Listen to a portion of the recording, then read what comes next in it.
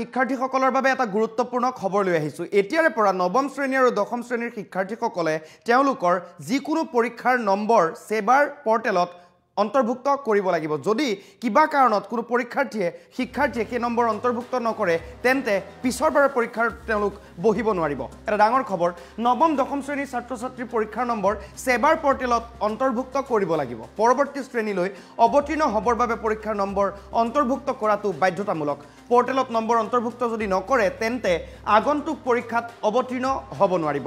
নৱম আৰু দশম শ্ৰেণীৰ লাখ লাখ শিক্ষাৰ্থীৰ বাবে এটা ডাঙৰ খবৰ। ছেবাই এটা গুৰুত্বপূৰ্ণ ঘোষণা কৰিছে।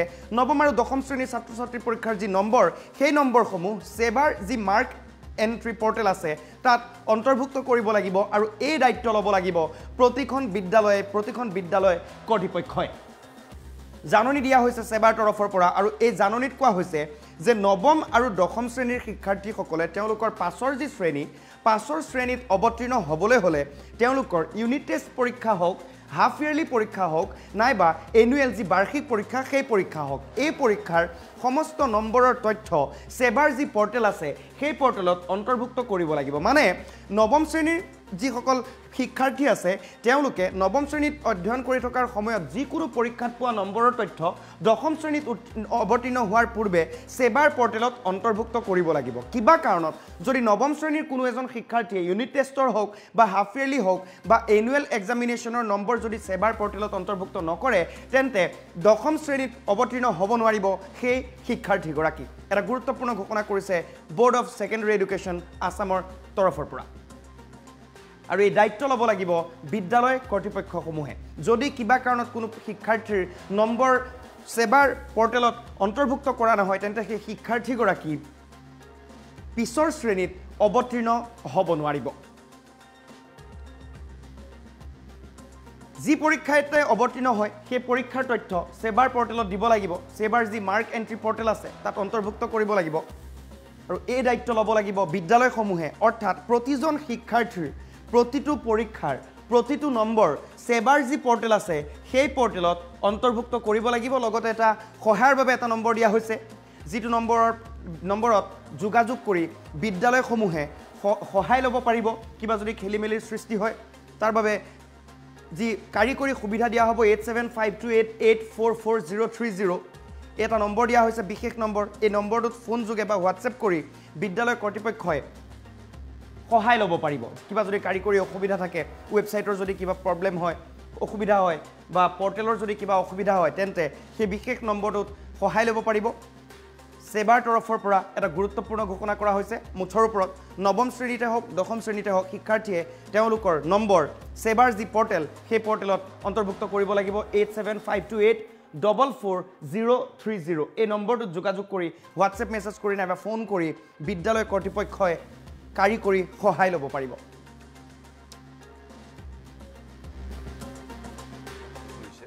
আমাৰ কাৰ্যালয়ৰ পৰা। আৰু এইখন এই নটিফিকেশ্যনখনত আমি কৈছোঁ যে পৰৱৰ্তী সময়ত ক্লাছ নাইন আৰু টেনত আমি যিসমূহ পৰীক্ষা অনুষ্ঠিত কৰোঁ স্কুলে যিসমূহ পৰী- পৰীক্ষা অনুষ্ঠিত কৰে unit test half yearly class নাইনৰ এনুৱেল এক্সাম এই আটাইবিলাক পৰীক্ষাৰ মাৰ্কছ আমাৰ মাৰ্কছ এণ্ট্ৰি পৰ্টেলত তেওঁলোকে এণ্ট্ৰি কৰিব লাগিব। এতিয়া মাৰ্কছ এণ্ট্ৰি পৰ্টেলত তেওঁলোকে অন্য নম্বৰ ইতিমধ্যেই ভৰাই আছিলে যেনে যোৱা বছৰ আমি এইবাৰ যিসকলে matric H S L C পৰীক্ষাত অৱতীৰ্ণ হৈছে সেইসকল কেণ্ডিডেট যোৱা বছৰ যেতিয়া ক্লাছ টেনত আছিলে তেওঁলোকৰ ক্লাছ টেনৰ হাফ ইয়াৰলি পৰীক্ষাৰ নম্বৰো আমি লৈছিলোঁ যোৱাবাৰ।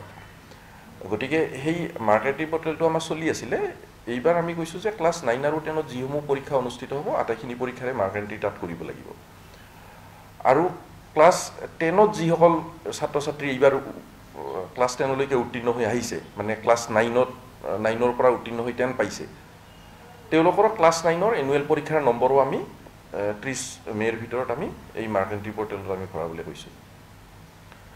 আৰু আপোনালোকে জানে যে ক্লাছ নাইনত ছেবাৰ ৰেজিষ্ট্ৰেশ্যনটো ছাত্ৰ ছাত্ৰীসকলৰ কাৰণে বাধ্যতামূলক। এই ৰেজিষ্ট্ৰেশ্যন প্ৰক্ৰিয়াটোও স্কুলবিলাকে ইতিমধ্যে আৰম্ভ কৰিছে চলি আছে বহুতখিনি স্কুলে সম্পূৰ্ণও কৰিছে। গতিকে যিসকলৰ বাকী আছে সেইখিনি আমি পোন্ধৰ জুনৰ ভিতৰত আমি সম্পূৰ্ণ কৰিবলৈ কৈছোঁ আৰু যোৱা বছৰ যি আমি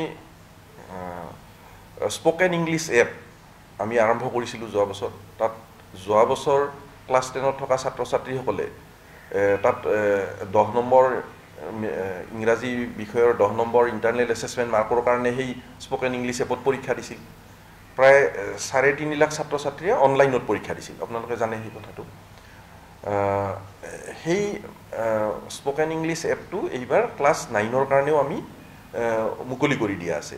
গতিকে পোন্ধৰ জুনৰ ভিতৰত তেওঁলোকৰ ৰেজিষ্ট্ৰেশ্যনটো সম্পূৰ্ণ হ'লে সেই ৰেজিষ্ট্ৰেশ্যন নম্বৰেৰে তেওঁলোকে ষোল্ল জুনৰ পৰা সেই স্পকেন ইংলিছ এপত তেওঁলোকে অনবৰ্ডত আহিব পাৰিব। তেওঁলোকে নিজকে ৰেজিষ্টাৰ কৰি ল'ব পাৰিব। স্কুলে ৰেজিষ্টাৰ কৰি দিয়ে শিক্ষকসকলে কনচাৰ্ণ শিক্ষকসকলে ৰেজিষ্টাৰ কৰি দিয়ে। আৰু তাৰপিছত আমি তেওঁলোকে সেই স্পকেন ইংলিছ এপত গৈ ৰেজিষ্টাৰ কৰি তেওঁলোকে ব্যৱহাৰ কৰিব পাৰিব। গতিকে এই কথা আটাইখিনি কথা সাঙুৰি আমি যোৱাকালি আমি নটিচখন ইছ্যু কৰিছোঁ। আৰু তাৰ উদ্দেশ্য এটাই যে আমি যিমানখিনি পৰীক্ষা বা আমি অনুষ্ঠিত স্কুলবিলাকে অনুষ্ঠিত কৰি থাকে এই ক্লাছ নাইন আৰু টেনৰ কাৰণে। আটাইখিনি পৰীক্ষাৰে নম্বৰ যাতে মাৰ্কছবিলাক যাতে এই পৰ্টেলত আহে।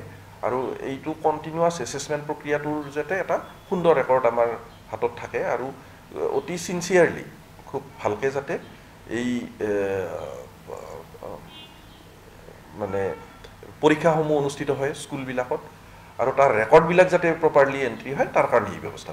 এতিয়া ছাত্ৰ ছাত্ৰীসকল যিসকলে নিয়মিতভাৱে ক্লাছত উপস্থিত থাকে আৰু নিয়মিতভাৱে পৰীক্ষাত অৱতীৰ্ণ হয় তেওঁলোকে আগতেও পৰীক্ষাত অৱতীৰ্ণ হৈ আছে নিয়মিতভাৱে ক্লাছত আহি আছে। খালি তেওঁলোকে পৰীক্ষাত যি যিমানখিনি নম্বৰ পালে সেই নম্বৰবিলাকৰ কোনো প্ৰপাৰ ৰেকৰ্ডিঙৰ এটা ব্যৱস্থা নাছিল। আৰু এতিয়া কিমান চিনচিয়াৰলি সেই পৰীক্ষাবিলাকত ছাত্ৰ ছাত্ৰীসকল অৱতীৰ্ণ হৈছিল সেই কথাটোৰো এটা সদায় এটা চবেই একেধৰণে অৱতীৰ্ণ নহ'বও পাৰে। কিন্তু যেতিয়া এই মাৰ্ক এণ্ট্ৰি পৰ্টেলত যেতিয়া মাৰ্ক পোৱা নম্বৰৰ যেতিয়া মাৰ্কছৰ যেতিয়া এটা ৰেকৰ্ড থাকিব তেতিয়া এই গোটেই ব্যৱস্থাটো এটা চিনচিয়াৰলি এটা পালন কৰা হ'ব সকলোৱে ভালকৈ পৰীক্ষাত অৱতীৰ্ণ হ'ব। আৰু ইয়ে ছাত্ৰ ছাত্ৰীসকলক পিছত হ'বলগীয়া বৰ্ড পৰীক্ষাৰ কাৰণে তেওঁলোকৰ মই ক'লোৱে যে যোৱা বছৰ আমি ইতিমধ্যে আমি ক্লাছ টেনৰ হাফ ইয়াৰলি পৰীক্ষাৰ যোৱা বছৰ নতুনকৈ আমি লোৱা আৰম্ভ কৰিছিলোঁ। আৰু এইটো উদ্দেশ্য আমাৰ আছিল যে পৰৱৰ্তী কালত আমি আটাইখিনি ক্লাছ নাইন আৰু টেনৰ আটাইখিনি পৰীক্ষাৰ আমি নম্বৰ লোৱা কৰিম যাতে ছাত্ৰ ছাত্ৰীসকলৰ গোটেই এছেচমেণ্ট প্ৰক্ৰিয়াটো এটা খুব ভালকৈ হয়। আৰু এটা মানে তেওঁলোকে নিজৰ ভিতৰত নিজকে আপগ্ৰেড কৰিবলৈ এছেচমেণ্টবিলাক কণ্টিনিউৱাছ এছেচমেণ্টৰ পৰা নিজকে আপগ্ৰেড কৰিবলৈ এটা সুবিধা পায়। গতিকে তাৰ কাৰণে এই ব্যৱস্থাটো সম্পূৰ্ণ কৰা হ'ল। তেওঁলোকে স্কুলৰ পৰাই কৰে কৰি আছে। সেই মাৰ্কেণ্ট্ৰি পৰ্টেলটো আমাৰ হাতত ইতিমধ্যেই আছে। তেওঁলোকে কৰি আছিলে। গতিকে সেই এক্সিষ্টিং পৰ্টেলটো স্কুলৰ পৰা কৰি দিয়ে। তেতিয়া নকৰিলে আমি নটিফিকেশ্যনখনত কৈছোঁ যে পিছৰ পৰীক্ষাটো পৰৱৰ্তী পৰীক্ষাত অৱতীৰ্ণ হ'বলৈ ছাত্ৰ ছাত্ৰীগৰাকীৰ অসুবিধা হ'ব। গতিকে তাৰ আগতে তেওঁক পৰীক্ষা দিয়াই তেওঁৰ নম্বৰ তাত এণ্ট্ৰি কৰিব লাগিব।